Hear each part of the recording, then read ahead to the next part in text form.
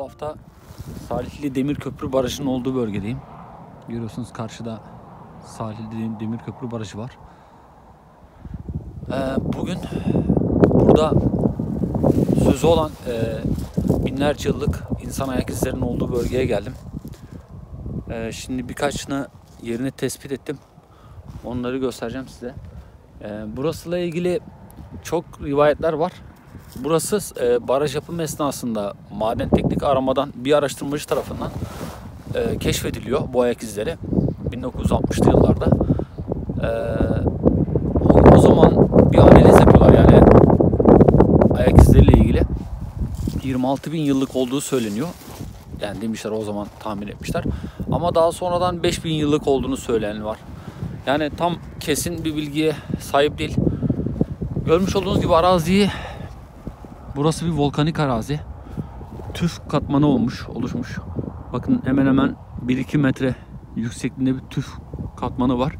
Tabii ki zamanla rüzgarla, heyelanla bunlar böyle aşağı doğru kaymış bu bölge. Şu karşı tarafta görmüş olduğunuz gibi o dağın oraları daha yüksek. Yani hemen hemen 4-5 metre, 6-7 metre yüksekliğinde tüf tabakası oluşmuş o bölgede.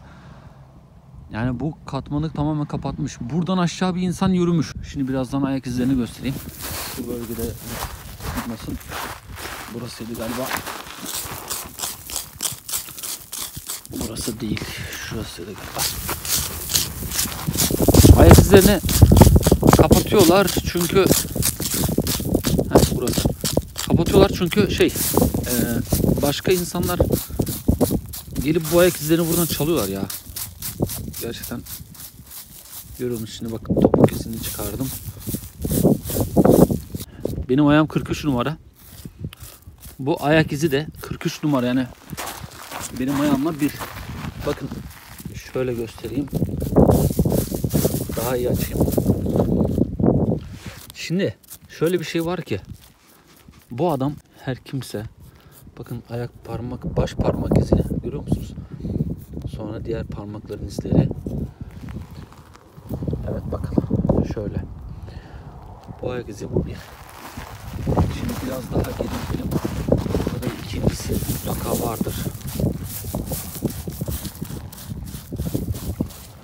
Bu ayak izini görüyor musunuz? Şimdi öyle bir şey ki bu insan çıplak ayakla basmış belli ki. Yani büyük ihtimal burası yağmurlu bir havada bu zemin çamur oldu. Yani çarıkları ya da terlikleri her neyi varsa ayağında o kişinin bu basan zatın onları çıkardı büyük ihtimal çamur olmasın diye. Yalın ek bastı. Yani kimsenin aklına şey gelmesin yani o dönemde yalın ek mi geziyordu insanlar? Hayır. Her dönem mutlaka bir giyecek bir eşya bulmuşlar. Yani buradan ayağına basmış. Yalın ek inmiş tarafa doğru gitmiş o dönemde. Daha sonra ise yıllar sonra yani bunun korunma korunma rüzgarlardan korunma sebebi de bu tüf tabakası arkadaşlar. Bu volkanik tüf. Yani demek ki bu adam buraya bastıktan sonra bu tüf tabakası düşmüş. Bir yanardağ patlamış ve bu bölgeyi tamamen tüfle kapatmış. Ayak izi bu yüzden koruma altına alınmış doğal olarak. Bu normalde yani biraz e, kazmala ya da sert bir cisimle şey yaparak kazılabilecek bir şey. Çamur yani taşlaşmaya yüz tut, tutmuş artık yani. Aradan belki şu şekilde bir, bir iki milyon yıl daha geçse belki taşlaşacak burası. Bu zemin sıkıntı olmayacak. Yani demek oluyor ki e, bu tüf tabakası bayağı bir korumuş bu izleri. Yani şimdi ayak izini ölçelim.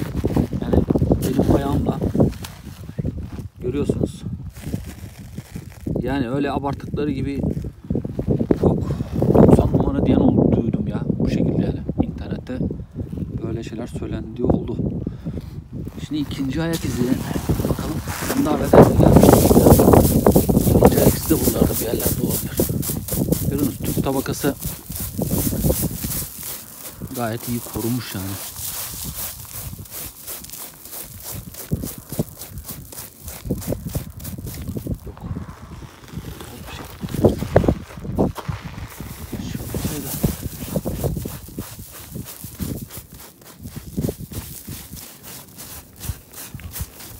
Bakalım.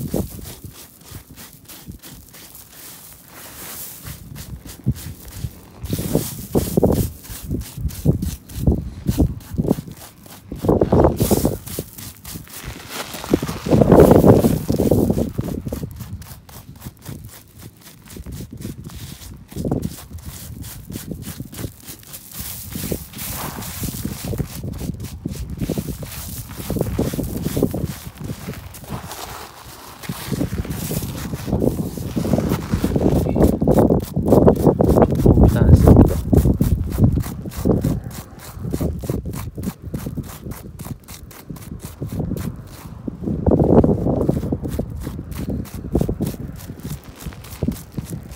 Evet. Ayak izini takip etsek adamın gittiği yerde buluruz belki. Yani tabaka şeyin altında kalmış. Yani bu tüf tabakasının altında kalmış izler.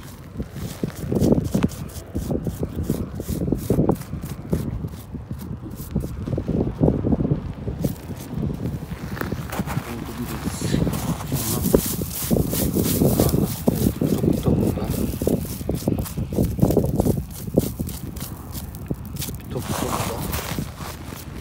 Yavaş izin geldiği yön ve gittiği yön belli oluyor arkadaşlar bakın. Topuk.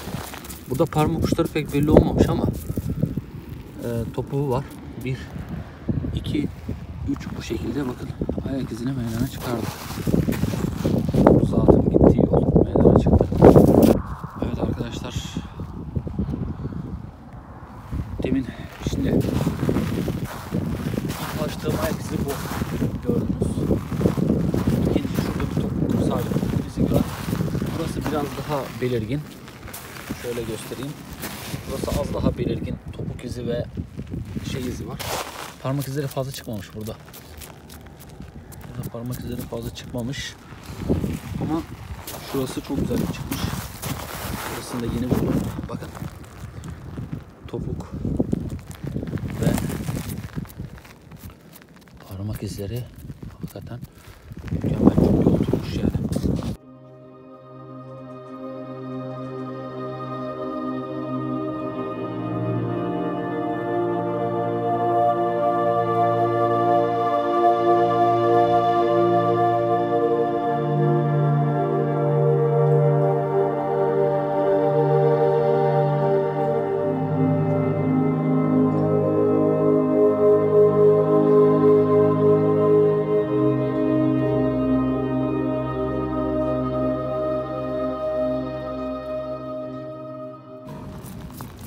Yalnız o gün demek ki bu zat buradan geçerken çok çamurmuş burası. Ayağında artık çarık mı, terlik mi, ayakkabı mı ne varsa ayağında onu büyük ihtimal çıkarmış. Çamur olmasın diye elini almış. Buradan yürüye yürüye aşağı doğru gitmiş. Artık aşağıda o dönem ne varsa çünkü baraj eskiden bu baraj 1960'ta yapıldı. 60'lı yıllarda yapıldı. Ondan öncesi yoktu baraj. Yani burası artık düz bir ova, bir arazi. Yani bir yerleşim yerine mi doğru gitti artık ya da dere yani bir bir yer vardı orada büyük ihtimal. Oraya doğru gitti yani. Bu vatandaş. Aynı bölgede bir de hayvan izleri de var. Onları da ama çok iyi araştırmak lazım. Gibi şu tüf tabakasını kaldırıp altına bakmak lazım. Başka türlü bulunmaz. Yani bu bölge tamamen ayak izleriyle dolu. Siz de buralara gelebilir. Bu ayak izlerine bakabilirsiniz. İşte zamanın şahidi, tanığı olan bir iz bırakmışlar. O dönem. Şimdi artık kemikleri bile kalmamıştır bu insanların. Evet arkadaşlar. Bu haftalık bu kadar. Gelecek hafta görüşmek üzere. Hoşçakalın.